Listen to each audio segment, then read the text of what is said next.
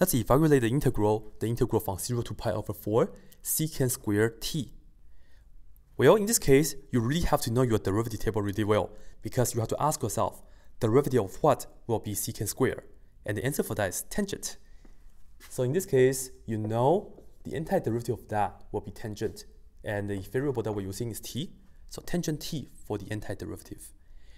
And I'm just going to get from 0 to pi over 4 and now let's plug in pi over 4 into t.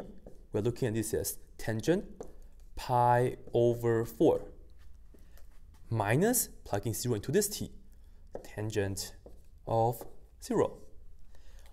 What's tangent of pi over 4? Let me show you real quick. Pi over 4 is 45 degree, so you can look at this as pi over 4, which is 45 degree. Let's look at that as the angle in a right triangle, and we have a special right triangle, which you have 1, 1, and square root of 2. Tangent of pi over 4, you do the opposite over adjacent. 1 divided by 1, which is 1. Anyways, tangent of pi over 4 is 1. Minus tangent of 0, this is a sine over cosine. So sine 0 over cosine 0. Anyways, you get 0. 1 minus 0 is of course 1. That's it.